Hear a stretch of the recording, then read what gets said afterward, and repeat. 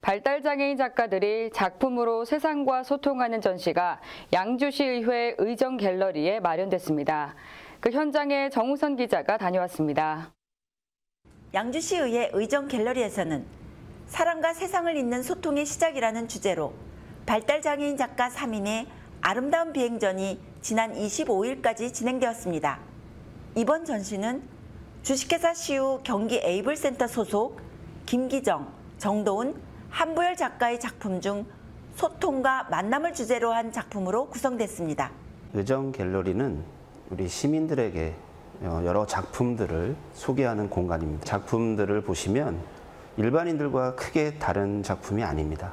똑같습니다. 오히려 일반인들보다 더 뛰어납니다. 독, 독특한 작품 세계를 가지고 있는 것입니다. 발달장애인 작가인 분들의 이 작품들을 보시면서 과연 이 발달장애아들을 우리가 시선을 어떻게 봐야 될지 그런 부분도 여러분들이 한 번쯤 생각해 보실 필요가 있다고 생각합니다. 양주시 의회는 발달장애인 작가들의 독특하고 아름다운 작품 세계를 지역 주민들과 공유하며 소통하고자 했습니다. 작가들의 다양한 작품 전시 공유가 작품 활동에 힘을 실어줄 수 있길 기대합니다. 복지TV 경기방송 정우선입니다.